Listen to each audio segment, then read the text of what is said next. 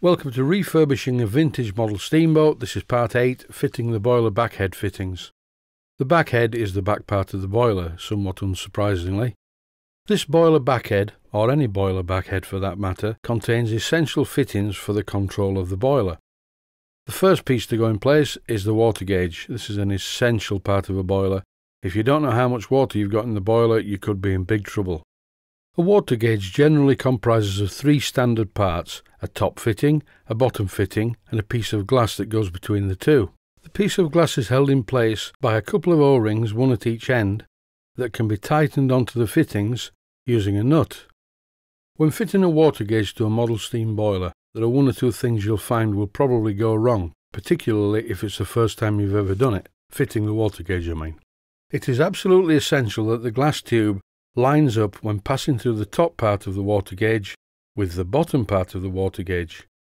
And to achieve this, the first thing to look at is how far in does it need to be and in which position can it be. So I'm using a copper washer here. And when I tighten this copper washer, you will see that this one is nowhere near. No, that's not going to work with the glass sticking out of the side. So I would need to use a thinner washer or a thicker washer to get the top fitting precisely in the right place. It's better to have a washer on this part of the fitting, but it's not totally essential. I will of course be using Loctite 542, so it's not going to leak around the thread anyway. But it does need to be firmly in place. It's no good just sticking it in there and hoping for the best. It needs to be quite tight and nipped up to the boiler itself. When you're doing a job like this, you must take your time and get it right. This is a very important part of the build, and if the water gauge isn't right and if it leaks or if it cracks, then that is not a good thing. The worst case scenario would be on a coal fired boiler and using a water gauge without a pair of shut off cocks, which would mean that if the glass broke, not only would you have the risk of being hit in the face by some broken glass or on a load of boiling water and steam, but if it was a coal fired boiler, then the boiler would quickly run dry. And a coal fired boiler with a white hot fire going into meltdown is not something you really want to see. What I'm doing here is using a screwdriver, which is about the same diameter as the glass tube, to align the two parts of the fitting. You must not put a lot of pressure on the fitting. It looks like I'm on the video, but I'm not. And once the top fitting is aligned with the bottom fitting, the bottom fitting, of course, is just in there loosely, you can see how far the bottom fitting needs to go in or out. In this case, just a tiny bit more adjustment with the screwdriver was required. And it's time now for a dummy run with the piece of glass. And by the way, I'm doing this very wrong at the moment to just illustrate a point. If you look at the top fitting, you will see that the glass is too long and it's covering the hole through into the boiler. If you do it like this, the water gauge cannot function as a water gauge because one end of it is blocked. Anyway, for the moment, here I am with some Loctite 542 and I'm fitting the bottom part of the water gauge. I've found a suitable washer and it's just about to be screwed into place.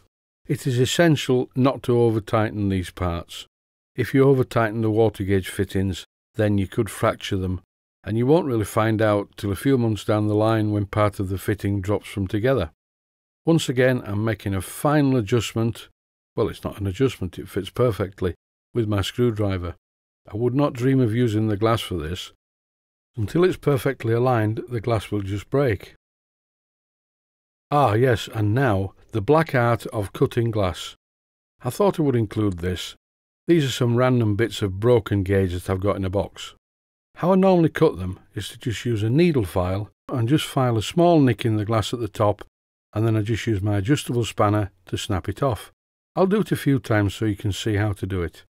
So it's a quick file with the needle file, just a little notch like this, and you don't need to file all the way round, just a notch at the top. And then I just use my adjustable spanner, fully adjusted to the diameter of the glass, to snap off the piece of glass. And as you can see, it comes off clean. Being a musician, I'm very used to practicing. This is really how I've taught myself a lot of things over the years. When I first bought a lathe, I was never engineer trained at all. I just bought a lathe and reduced loads of bits of metal to swarf and figured out tool angles and speeds and feeds, etc. Usual health and safety warning when working with dangerous things like pieces of glass. I would definitely wear some eye protection, and probably a pair of gloves would be a good idea, but I can't do with gloves. Right, you see the principle here. The glass goes through the top fitting, an O-ring's put on the glass tube, and then this nut is partially tightened up. Don't tighten it up all the way, otherwise you will not be able to move the glass in the fitting. Then you possibly will cut yourself, particularly if the glass breaks. So then a nut goes on and another O-ring goes on the bottom part. Bear in mind that these ends of the tubes are probably quite sharp, so go at it square. If you go at it square, you're okay. If you go at it from a corner and the corner sticks in your finger, then you will bleed all over your boiler and all over the bench. Here's a quick tip. If your copper washer is not the correct thickness, place it on a piece of steel and hit it with a hammer a few times and it will make it thinner. A word of caution, never over tighten the nuts on the water gauge that hold the glass. Live with it like this for a while. If you put any compressed air or any water in the boiler and see any bubbling around these gland nuts, then you can tighten them up a little more. But do not over tighten these gland nuts, otherwise the glass will crack. You may be lucky and it may not crack on the first steaming, but if these nuts are too tight, the contraction and expansion of the boiler and its water gauge will eventually crack the glass. Over now to the pressure gauges. I have a choice of a small one, which I think is three quarters of an inch, or a large one, which is about an inch. And I think it's a no contest the large one wins, because sailing the boat past with a tiny pressure gauge on is not going to tell you what pressure's in the boiler. But if I mount this pressure gauge in a position where it can be seen without taking the superstructure off the boat, then the operator will always know how much pressure they have in the boiler just by sailing the boat past. So I'm going to mount the pressure gauge in an unorthodox way. I put a quarter by 40 union in the boiler and a pipe from this is going to bring the pressure gauge to where it can be seen. I don't mean stuck up in the middle of the deck, but it will be underneath a hatch that can be left open while sailing. Also, I have to look at the ventilation in this boat because there needs to be plenty of air available to make the burner burn efficiently. So I'm going to make this hatch removable just for sailing it. It can be put back on if the model's on show. I'm sure you get the idea. I'm going to use a much longer pipe to remotely mount the pressure gauge. Not this particular pipe, this is just for demonstration purposes. The last thing to do for this episode is to fit a washer underneath the tap on top of the boiler so it faces in the correct direction. And I just thought I'd take this opportunity to show off my box of copper washers, most of which I buy from Blackgates Engineering and I find the right one that allows me, with some Loctite 542 of course, to make sure that the tap is securely fixed and facing in the right direction.